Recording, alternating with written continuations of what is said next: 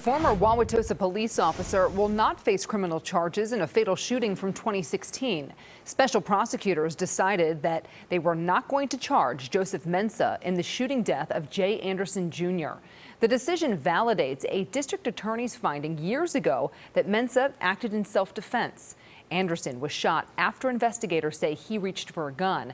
He had been sleeping in his car in a park after hours when Mensah woke him up. And while no charges are being brought in this case, both the judge and special prosecutors called parts of the 2016 investigation flawed. Fox 6's Ashley Sears is live and explains the special prosecutors outlined a series of recommendations to help improve these types of cases in the future, Ash.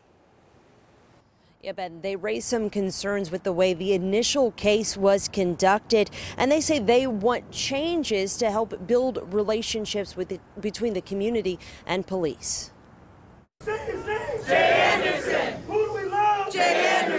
Protests erupt in the halls of the Milwaukee County Courthouse moments after special prosecutors announced no charges are being brought against Joseph Mensah in the shooting death of Jay Anderson Jr.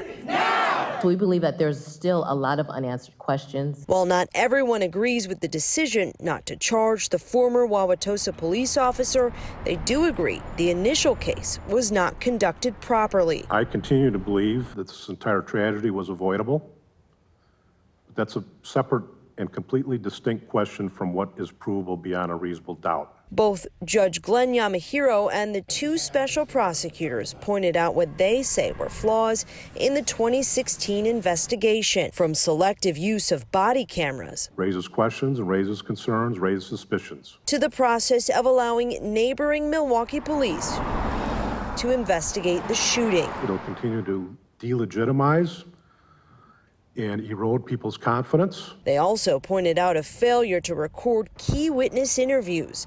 The special prosecutors listed the ways these types of investigations can be improved, saying changes need to come from Wisconsin's legislature. That we hope will lead to maybe better investigations and perhaps to a, a process that can eventually eliminate or reduce the need for tragedies like these. Anderson's family vowing to continue to seek charges, even though their trust is gone. I'm not finished fighting. I want Joseph Mensah in jail.